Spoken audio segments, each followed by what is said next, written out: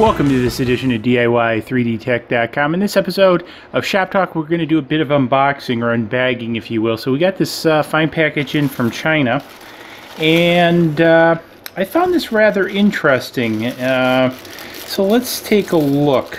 Um, again, it comes in another bag, and it's kind of tearing it open. So one of the things we have in the bag is this interesting power supply. Uh, which is one of the things that caught my attention. Um, pretty basic. I mean, it's not even, this knob isn't even centered, but uh, there is a knob there, and that's a per has a purpose because it goes to this. This is the motor of the unit, and what I thought interesting is it comes with this Jacob Chuck, um, which I thought was worth the purchase alone, actually and this apparently somehow goes in here and I have no idea how the chuck actually holds on. We'll have to take a look at that in a minute. And then it also comes with a chuck key. Now I thought this rather interesting. Um, I think this is just a pressure fit really. Um, I really don't see anything else other than a pressure fit for it. Kind of weird that it'd be go turning at some interesting RPMs without some sort of lock into there. But there seems to be a switch here. And so let's uh, let's actually undo this power supply and take a little bit deeper look. The cord on it's a little bit short. I was kind of hoping for a little bit longer cord since I've got plugs all around the workbench. Not a huge issue, but uh, this is probably maybe makes it a little over three feet cord-wise from from plugging in. So uh, then this actually plugs in the back here. Move some of this junk out of the way. And uh, let me get something to plug it in with. Okay so got some power here so I could set this up.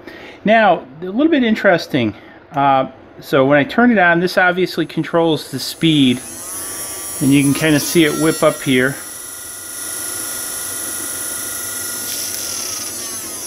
So this switch also turns it on and off.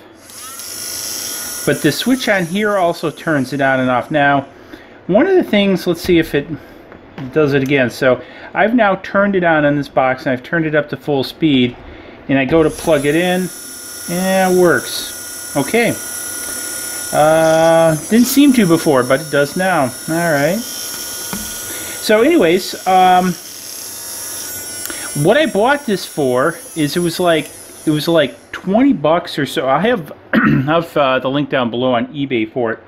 Now, what I had done in the past is about a year ago, and if you look back in some of the blog post vlog posts, I've got this on here. It was a battery powered one. I paid about 10 bucks for it variable speed. The battery gave up the ghost. I think it was really intended for dog nail trimmer. What I use use it a lot for is I use these Scott Scott Bright brushes for cleaning up 3D prints. And uh, they actually work pretty good. And if you look in past episode, you'll, you'll see these in there. And then so, you know, what I do is chuck them up in here and, and they work.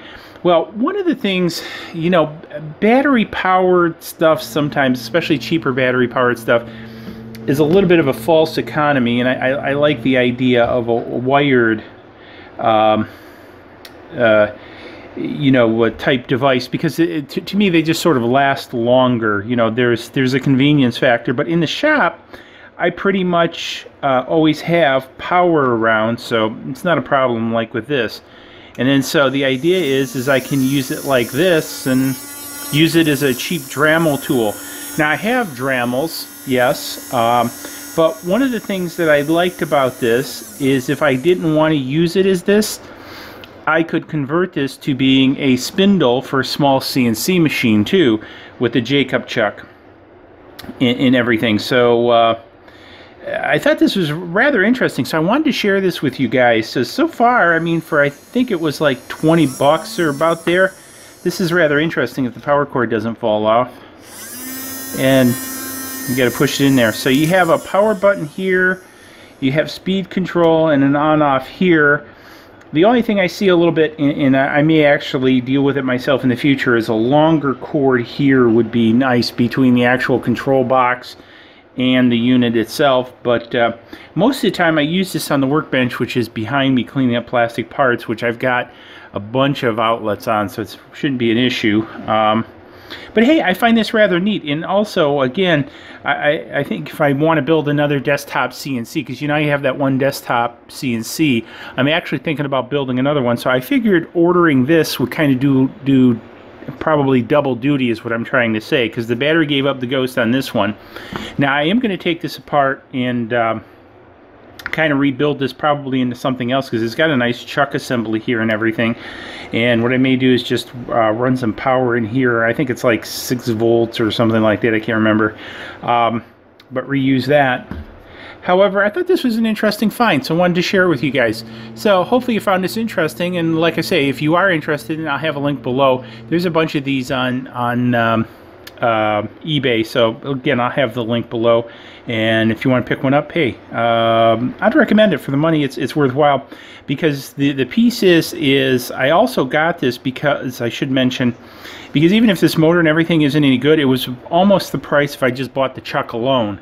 And so my idea is is take this chuck, I can take this chuck and also put it on the CNC machine, which happens to be over there too, the desktop CNC machine. So it was kind of like a win all the way around. Um, so anyways, hopefully I spurred some ideas uh, in your heads, and um, that's what I'm here for. And uh, if I did, hey, give it a thumbs up again. Uh, subscribe button is coming up over there. Please subscribe to the channel if you haven't already. If you have, thank you. Hit me up with comments below, and we'll see you in the next video. Cheers. Please click like below and subscribe to the channel to keep up to date on all of our projects.